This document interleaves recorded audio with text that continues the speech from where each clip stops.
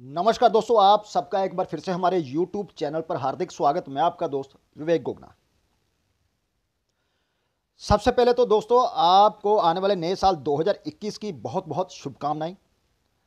प्रभु से हम आप सबके लिए प्रार्थना करते हैं कि आने वाले नए साल में आपकी हेल्थ वेल्थ और नेम फेम में और बढ़ोतरी हो। वैसे तो दोस्तों, हम अपने चैनल पर वैदिक एस्ट्रोलॉजी के माध्यम से सभी बारह लग्नों के लिए कैसा रहेगा आने वाला नया साल 2021 इनकी वीडियो अपलोड कर चुके हैं। लेकिन आज हम अंक ज्योतिष के माध्यम से भी सभी मूलांक वालों के लिए वीडियो जो है अपलोड करने जा रहे हैं कि आने वाला नया साल 2021 हम सब के लिए कैसा रहने वाला है। मूल अंक से लाइफ में आने वाले बदलावों के बारे में काफ़ी कुछ जाना जा सकता है दोस्तों। मसलन, आने वाला साल 2021 किस मूलांक के जीवन में कौन से उतार चढ़ाव लाएगा? या फिर आपके जीवन में कौन सी खुशियाँ देने वाला है?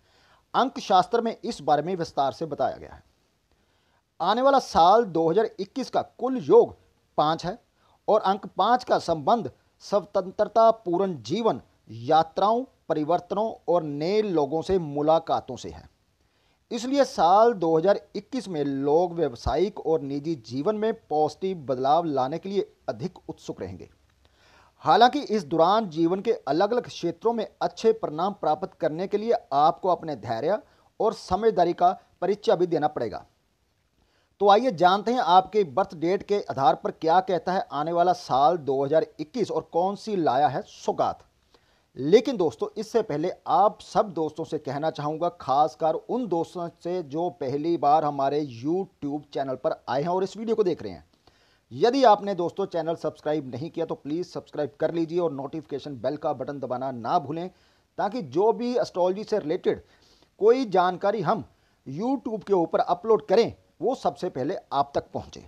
और इसी के साथ हम ये भी कहना चाहेंगे कि यदि आपकी भी कोई क्वेरी हो तो आप दिए हुए व्हाट्सअप नंबर पर हमें मैसेज कर सकते हैं, लेकिन फ़ीस जो है वो एप्लीकेबल रहेगी। तो चलिए दोस्तों, बात करते हैं आज मूल अंक आठ के बारे में। अगर आपका जन्म भी दोस्तों आठ, सतारह या छब्बीस तारीख को हुआ है तो आप आठ अंक के जातक हैं। और अंक आठ शनि ग्रह को रिप्रेजेंट करता है। क्योंकि साल 2021 का वार्षिक अंक पाँच है, जो कि बुध ग्रह को रिप्रेजेंट करता है। इस वजह से इस साल आपके ऊपर शनि और बुध ग्रह के योग संयोग का फल आपको मिलने वाला है। अंकों का यह तालमेल पूरे साल आपके अंदर पॉजिटिव एनर्जी को जनरेट करेगा, जिस कारण आप बड़े से बड़े काम को भी इस साल अंजाम दे पाएँगे। इस साल आप काफ़ी खुशी का अनुभव करेंगे और यह साल आपको बहुत कुछ देकर जाएगा। नौकरी करने वाले लोगों के लिए यह साल अच्छा रहेगा। आपको अपने साथी, कर्मचारियों का सहयोग मिलेगा, जिससे आपके कार्यस्थल की समस्याएँ दूर हो जाएँगी। बिज़नेस करने वालों के लिए यह साल किसी वरदान जैसा होगा, क्योंकि इस साल आपका काम बहुत तेज़ी से फैलेगा। इस साल शेयर और सट्टे का काम करने से बचें, नहीं तो भारी नुकसान का सामना करना पड़ सकता है दोस्तों।